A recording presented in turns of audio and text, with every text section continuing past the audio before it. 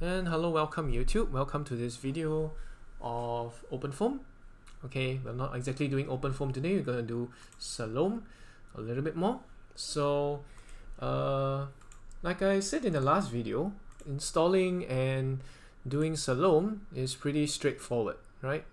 And installing and doing Salome is pretty straightforward. So let me close my terminals first, one at a time. Okay, so just remember I'm using Linux Mint 20. Um, if you are doing something else, uh, please do you know make some necessary changes. I'm not going to tell you what those changes are. Uh, it takes quite a considerable uh, effort to do tutorials for every single possible OS, so I'm not going to do that. You figure it out on your own. Um, yeah, so we saw that installing Salome was pretty straightforward. Running Salome is pretty straightforward. Well, of course, uh, uh, doing it, um, getting used to it, working with it, that is another learning curve on its own. So remember, you just run the Salome script from this install directory, no installation needed, anything like that. It should work out of the box. Okay, so this is how you run it.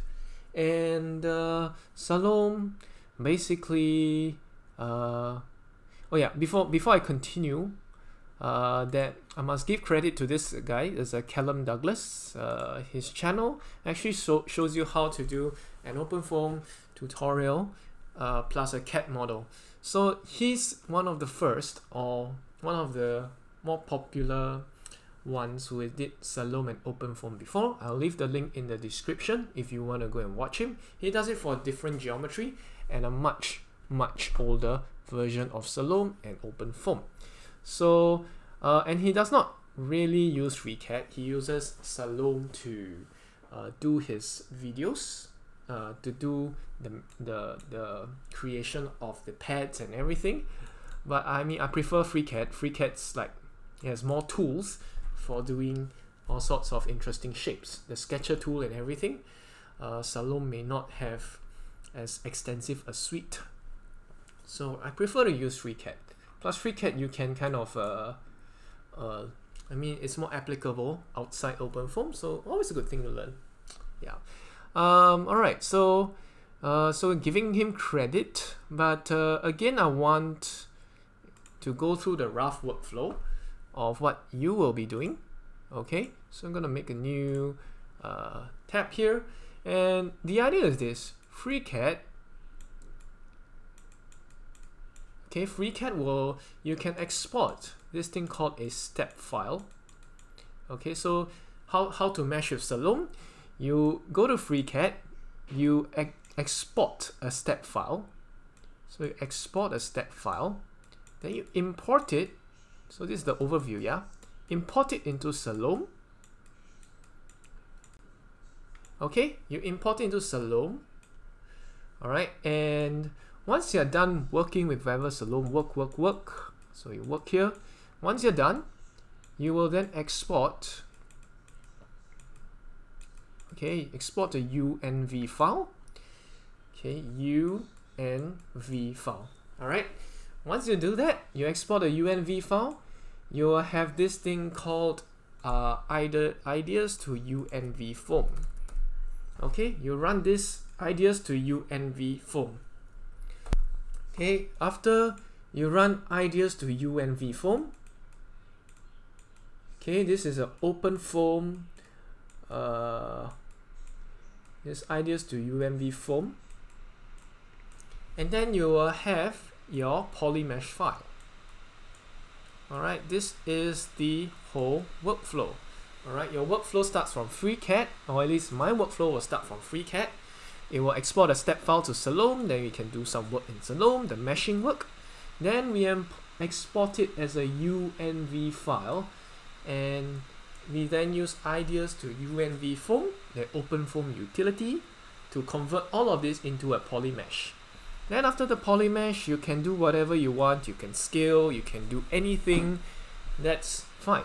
Um, of course, you can do the scaling in Salome as well. That's entirely up to you um, because when you import STL files or step files into Salome, you will have um, yeah you will be more than likely they'll, they'll ask you whether you want to scale it down by a factor of a thousand. Now I prefer I mean I, I'm just more used to doing it with the transform points tool but you can use Salome as well. It's a very convenient tool. Okay so let's show you what this uh, workflow is like.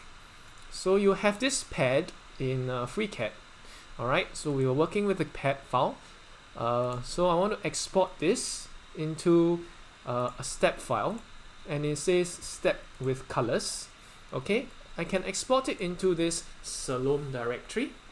Uh, of course I already exported it here but I can export it again just to show you how it's done okay make sure you uh, under file export and make sure you have pad your correct uh, geometry selected. Then you can export it as whatever dot step. Make sure you use you uh, export it as a step with colors file. Save and replace. That will be the step file. After that you go to Salome where you have opened it go to the geometry tab under this uh, workbench or whatever you call it. Very similar to FreeCAD Salome has its own set of workbenches where you can make all sorts of shapes and everything. But uh, of course uh, since we learned the FreeCAD I'm not going to do this Salome stuff here. Okay? Then after that you import. Go to file import step. Okay? Import the step file and you select the step file you want to import which is this FreeCAD thing here. And then it shows you a warning. Do you want to take into account the units millimeter as embedded in the file? Ignoring units will cause scaling as dimensions are supposed to be specified in meters. So this one is the one where I'm talking about if you want if you don't want to use the transform points in your polymesh then you have to do this. You have to uh, take into account the units okay specified in the form. to if you don't want to use transform points later you can uh, click yes here and then uh, it will scale everything down by 1000 now my personal preference uh, I, I, I like to use the transform points uh, so I won't bother with this step okay I, I use the transform points utility as I did in the last few videos when using snappyHexMesh and blockMesh so that uh, I'll prefer to use. Okay so I don't want to uh, scale it down by um, th that much. So I will have my shape imported into the Salome under the geometry module. Okay so once you're in the geometry module how are you supposed to navigate? Now uh, I do uh, know it's kind of frustrating because FreeCAD uh, ParaView and Salome all have different ways of navigating the files. So for example I have this file. Alright I have this file. Uh, let's see. Okay let's see. Yeah. Yeah I have this file. Uh, uh, our ParaView file right? I have a ParaView file. And basically navigating you you kind of use your left mouse button to drag it around shift and uh, shift and left click to zoom in and out uh, control and right click to to drag it around like so. Okay control and right click to drag it around. That's one set of things to kind of remember. Then in FreeCAD you kind of do the opposite thing. You have to do left click and right click to pan it around or shift okay. You can use the scroll wheel button. Uh, or is it? I can't remember. Yes. Okay. You do a left click and right click to pan it around. And you control and right click to also pan it around. Shift and right click to like uh, rotate it. And of course the the, the zooming in and out is uh, is uh, your scroll wheel or I can't remember there's so many okay but uh, yeah you, you can zoom in and out using your scroll wheel or you can do it using uh, okay let me see pan around yeah okay, I can't remember what is it for FreeCAD at the moment. There's just so many commands. So FreeCAD has one set of ways to navigate your free your your STLs or, or what have you. Okay, FreeCAD uh, FreeCAD has one, ParaView has one. So this is how you pan around, zoom in, and rotate. So it's a little bit annoying. Okay, Salome has yet another set. But Salome, Salome, uh, you you press left and right click, it will move around. What you need to do is press Control, left and right click, or Control and right click to zoom, uh, left click, sorry. Control and left click to zoom in and out. Control and left click to zoom in and out. Control and right click to uh, twist it around, as you can see. And then after that, if you want to pan, Control and press left and right mouse button together, then you can pan it around, as you can see here. So, uh, well, what, well, this com uh, each each uh, 3D tool, each uh, CAD software and visualization tool has a different way of navigating all these 3D shapes. Uh, just remember if you forget, uh, usually what you need to do is press Control, Shift, uh, left and right click. So navigating will be a combination of these four buttons, Control, Shift, left and right click. If you ever get confused, if you ever got confused, uh, just experiment around with these buttons, control, control, shift, left and right click. A, any, a combination of these buttons will usually get you somewhere in the navigating of these files, if you can't remember, because remember, these, these are three different softwares with different ways of navigating. So uh, do take note, uh, how I remember is the control shift, left and right click. I can't remember all at once, but I will experiment with each uh, with each uh, you know software with each software so that yeah I just roughly get the gist of how to work. But now now we are working with Salome so we'll just use the Salome way of uh, navigating. So that Salome is usually a control right click control left click or control left and right click to okay zoom uh, rotate and pan respectively. So this uh, you need to remember. Okay? If not again control shift left and right click. A combination of one of these buttons will uh, help you to work. Alright so uh, let's get started. Alright? Remember the last time I was saying there was some some problem with selecting all of these pipes within the heat exchanger uh, configuration. If you have 50 pipes in this heat exchanger how are you supposed to select everything in here uh, in FreeCAD okay it was a little bit harder to do it here if not much harder the Salome is much much easier okay let me show you how okay uh, the video I, I I, told you before uh, this this guy by uh, Mr. Douglas here he yeah Mr. Douglas here uh, he he did something very similar uh, yeah but this this version of Salome uh, you can pretty much do it uh, right um, in a more updated way. My way is pretty much the same as his. So, but uh, you can you can do two things to select the faces for your shape. So remember, I also want a wall, inlet, and outlet. That's a bit. These are basically my three shapes that I want. Uh, the inlet is here, the outlet is here, or I can switch it around if I so desire. Then after that, the wall will be this uh, semicircle plus the, the extruded pipe on top. The, the I mean the hemisphere and the extruded pipe on top, hemisphere and the extruded pipe at the bottom, plus all this tubing in the center. So that will be my wall patch. Okay, so similar to FreeCAD, we'll try to separate these things out. So what we need to do is to right click this pad 003. Okay, I just named it pad 003. You can name it whatever you want, but this is the whole shape in step format. Remember, step format.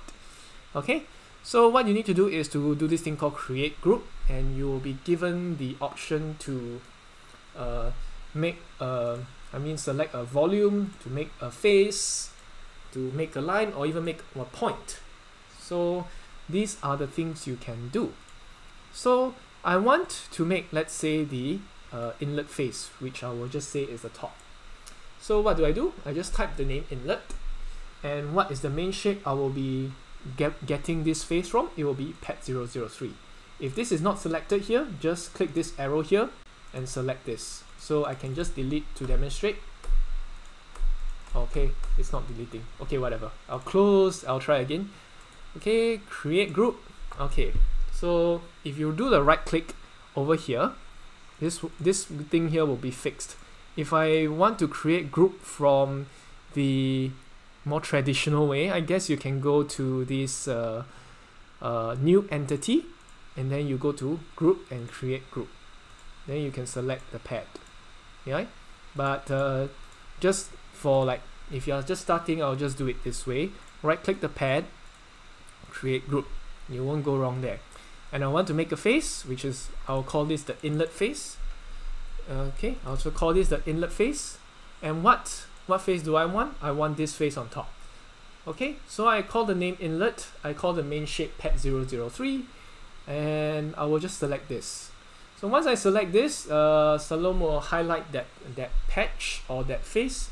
All I need to do once that once that face is selected I will just press this button called add.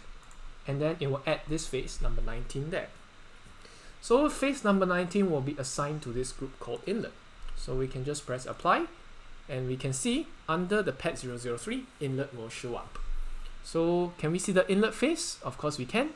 Uh, we can make this pad disappear and inlet will be shown over here.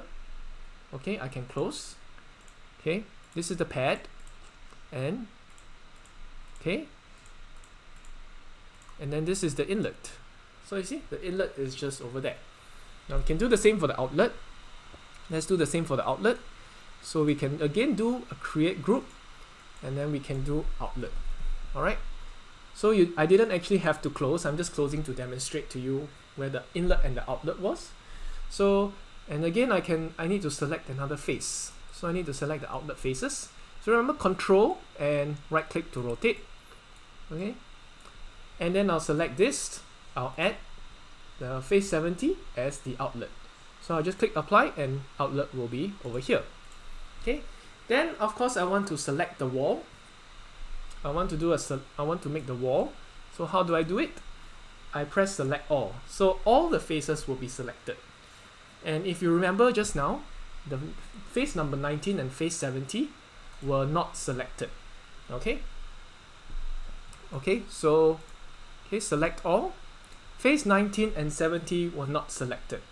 Alright, if you can't remember, you press select all. Okay, select all, I'll just remove first. Press select all, and all the faces are selected. Then press the face you want to, click the face you want to remove, which is 19 so when you press uh, click face 19, you will only remove face number 19, which is the inlet patch. So let's get rid of face 19. Then you can do control right click to pan or rotate to the other side. Click this one and it will say, oh, this is face 70. So let's remove phase 70 as well because that's what we don't want. And it will say what uh, what we do we want the group to be called? We want this to be called the wall group. So once we have the wall group, we can just click apply and the wall group will appear here. And if you are satisfied, we can close it. Alright, so we can see only the inlet patch so shows. The, uh, uh, the wall patch is this. Alright, so I can uh, hide the inlet patch. I'll have the wall patch here and you, as you can see, this part is hollow. Okay, and so is the other side. So outlet, inlet. Now with this, I have a full thing. Alright, so I have not done the meshing yet, but I have just separated the shape into inlet, outlet, and wall. So once I do that, I can just save, uh, save it as a HDF file. HDF file is called, I mean that's the Salome standard file that you have. I'll just save it here as study one or the video. I'll just call this the video tutorial. Okay, so I'm just gonna save and that's it for now. So hopefully that shows you how to work with FreeCAD and Salome, uh, your basic workflow. And hopefully in the next video, we can talk about meshing. Okay, thanks for watching. I'll see you guys again. Bye-bye.